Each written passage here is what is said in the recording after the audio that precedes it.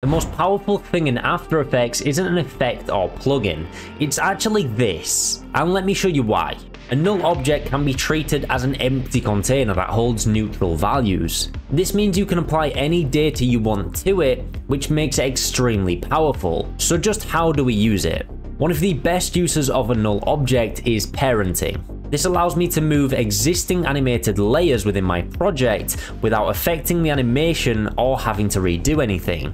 For instance, if I try to move these two layers around, it's going to cause a lot of issues within my animation.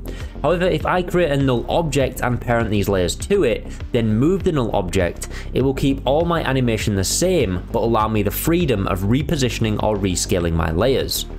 This is such an easy way to move things around your scene without completely ruining your hard work. Null parenting also works great on After Effects cameras too. After Effects cameras can be an absolute minefield to move around and change. In my opinion, it's much easier to use After Effects cameras when they're parented to a null object. For example, I have my camera and I parent this to a null with the 3D layer switch enabled.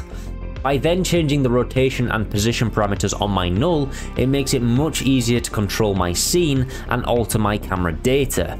It makes it much easier to alter my frame without affecting where the camera is actually looking. Nulls offer great flexibility when used as a master controller for effects as well. For instance, if I have a scene and have multiple layers using the same colour, I can actually control these through a null. It makes it much quicker to change effects based on feedback or if I just have a different feel I'm going for. Now of course this doesn't apply just to fills and it can work for a bunch of effects, so it's great to experiment. All we have to do is apply our effect to the null, select this in our effect controls and go to edit and select copy with relative property links. I then want to paste this to any layers that I want to have that same effect. Now I can control each layer's colour with just a single null. You can of course combine master nulls and effect nulls, but realistically I use different ones for different things.